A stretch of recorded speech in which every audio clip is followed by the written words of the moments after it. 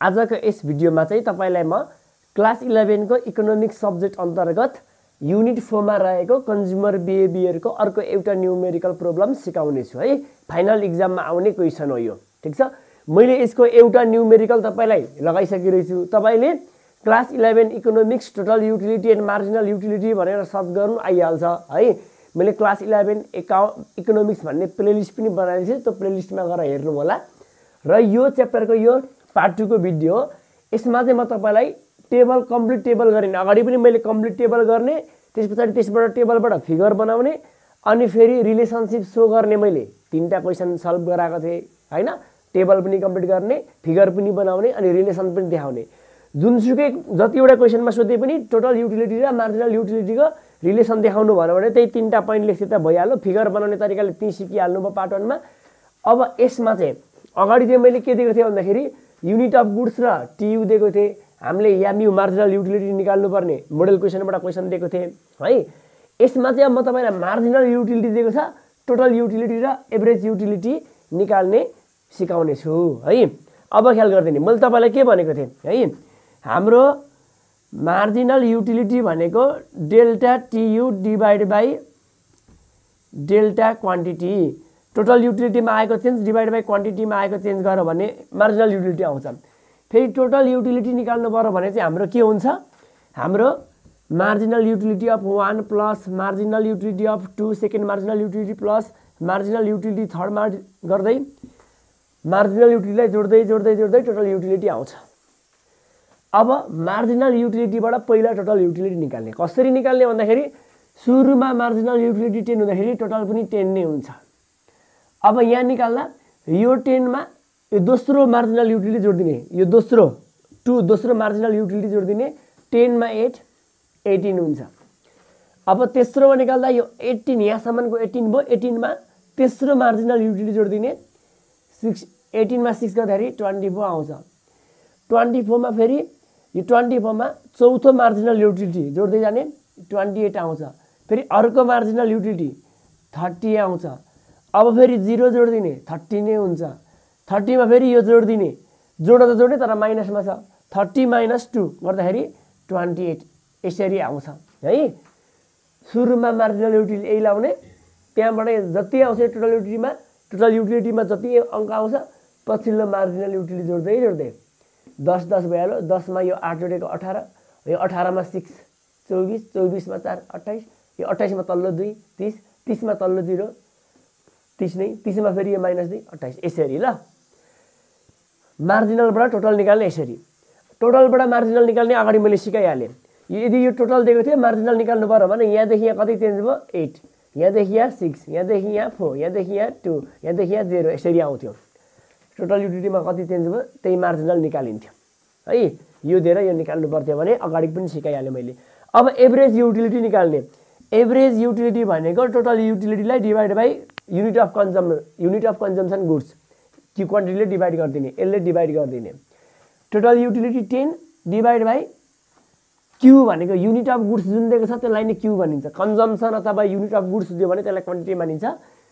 TU divide by Q ten divide by one ten eighteen divide by two nine twenty four divide by three eight twenty eight divide by four seven thirty divide by five six thirty divide by six five twenty eight divide by seven four यसरी आउँछ ठिक छ? एटियुलाई क्वान्टिटीले divide गरिदिने AU आइहाल्छ ल। यति complete गरेर तपाईँले सिक्नुभयो है? अब यदि हामीलाई टियु थिएन भने एयु निकाल्न सकिँदैन। यामयुको आधारमा एयु निकाल्न सकिँदैन। टियु नै चाहिन्छ। योवाला क्वेसन कम्प्लिट गर्न सक्नुहुन्छ। अब यो क्वेसन पनि यी सल्भ गरिदिइहालौँ। यो च्याप्टरको हिसाबै सक्थ्यौँ है? अब हेर्नुहोस् यहाँ युनिट अफ गुड्स दिएको छ यसलाई क्यु मानिदिने टियु भनेको टोटल युटिलिटी टियु दिएको छ एयु र यामयु निकाल्नु छ यामयु र एयु निकाल्नु छ यामयु भनेको delta TU divide by delta Q अब ख्याल गर्ने सुरुमा युनिट जिरो हुँदाखेरि टियु पनि जिरो हुन्छ। टोटल युटिलिटी जेरो हुँदाखेरि मार्जिनल युटिलिटी पनि सधैँभरि जेरै हुन्छ। अथवा युनिट अफ गुड्स जिरो हुँदाखेरि यो total U suppose utility suppose three थियो भने पनि यो जेरो नै हुन्छ है ख्याल गर्ने। बुझ्नुभयो नि? है? युनिट अफ आउटपुट जेरो हुँदाखेरि मार्जिनल युटिलिटी जहिले पनि जेरै हुन्छ। यो टियुमा कुनै अङ्क छ भने पनि यहाँ जेरै हुन्छ। अब मार्जिनल युटिलिटी ख्याल गर्ने। जेरोबाट वान भयो। मार्जिनल युटिलिटी भनेको टोटल युटिलिटीमा कतिले चेन्ज आयो त्यो हेर्ने आएको चेन्ज हेर्ने। अब यो दोस्रो स्टेपमा जाँदाखेरि यहाँ कति हुन्छ फेरि मार्जिनल युटिलिटी भनेको टोटल युटिलिटीमा आएको चेन्ज जेरोबाट बढेर कति भयो? एट भयो। एटले बढ्यो भने त्यही एटै लेखिदिने। अब यहाँबाट वानबाट टू पुग्दाखेरि एटबाट कतिले बढ्यो? फोर्टिन भयो। एटदेखि फोर्टिन कतिले बढ्यो? सिक्सले बढ्यो। सिक्स लेख्दिने। टूबाट थ्री हुँदाखेरि फोर्टिनबाट एटिन भयो। कतिले बढ्यो? चारले बढ्यो। यहाँदेखि यहाँसम्म फोरको डिफ्रेन्स। टोटलमा आएको चेन्ज राख्दिने। यहाँदेखि यहाँ एटले यहाँदेखि यहाँ सिक्सले यहाँदेखि यहाँ फोरले। अब एटिनबाट यहाँ कति आयो? ट्वेन्टी टू आयो। एटिनबाट ट्वेन्टी टू भनेको फोर। यहाँ थ्रीबाट कति भएको छ? फाइभ हो यहाँनिर चाहिँ समस्या छ ल। हौ यही तपाईँलाई सिकाउनको लागि मैले यो क्वेसन थपिदिएको। है हेर्नुहोस् है यहाँ। यो वान वानले चेन्ज हुँदाखेरि चाहिँ टियुमा जति आयो टोटल युटिलिटीमा जतिले चेन्ज आयो त्यति नै राख्यौँ। तर यहाँ एटिनबाट ट्वेन्टी टू आयो। फोले चेन्ज भयो। फोले चेन्ज भए तापनि हाम्रो त के भनेछ? यो क्वान्टिटी चाहिँ वानले चेन्ज हुँदा टोटल युटिलिटीमा कतिले चेन्ज आउँछ? यसमा आएको चेन्ज चाहिँ हाम्रो मार्जिनल युटिलिटी हो। है? युनिट अफ गुड्समा एक एकाइले चेन्ज हुँदा टोटल युटिलिटीमा जतिले चेन्ज आउँछ त्यसलाई भनिन्छ मार्जिनल युटिलिटी यहाँ सबैमा वान वानले चेन्ज आउँदाखेरि यति चेन्ज भएको थियो। त्यही भएर यहाँ आएको सुइसी चेन्ज भएको लेखियो। तर यहाँ पनि एटिनबाट ट्वेन्टी टू आयो फोरले चेन्ज भएको नि। तर यहाँ थ्रीबाट कति पुगेको छ डाइरेक्ट फाइभ पुगेको छ।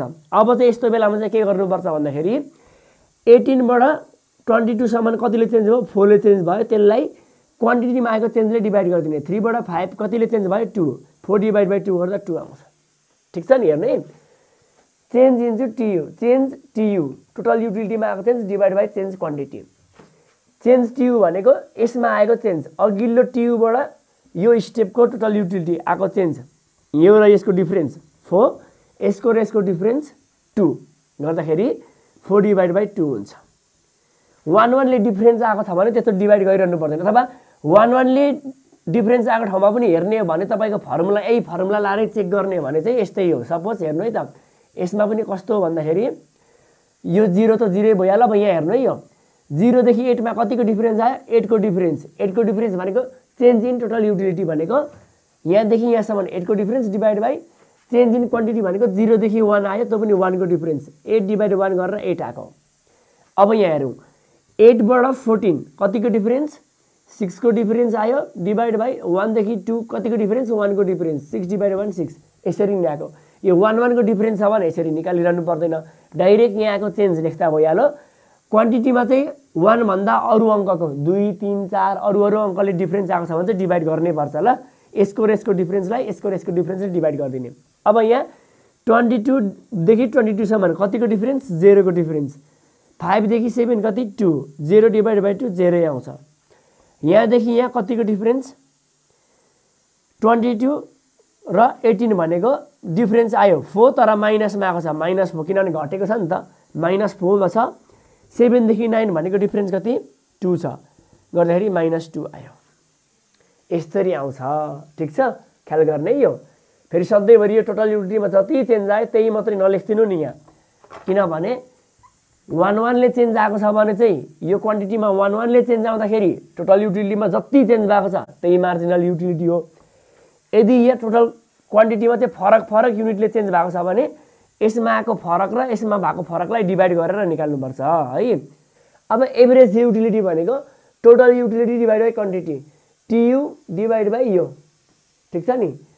टियु डिभाइड बाई क्यु भनेको TU divide by Q zero divide by zero dash गर्दा पनि भयो जेरो लेख्दा पनि भयो। Eight divide one eight fourteen divide by two seven eighteen divide by three six twenty two divide by five पाँच चौको बिस four point four point four हो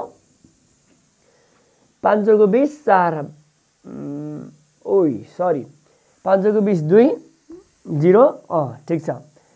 अनि twenty two divide by seven सात एक्काइस सात एक्काइस एक आयो पोइन्ट साती एक्काइस बाइस दस सात एकाने सात तिन सात चौको अट्ठाइस वान फोर ल अठार नौ दुन अठार। ल यसरी आयो ल। तपाईँले भिडियो कस्तो लाग्यो? हेरेर मलाई प्रतिक्रिया दिनु होला भन्ने म यस पाठबाट बिताउन चाहन्छु। हस्त नमस्ते।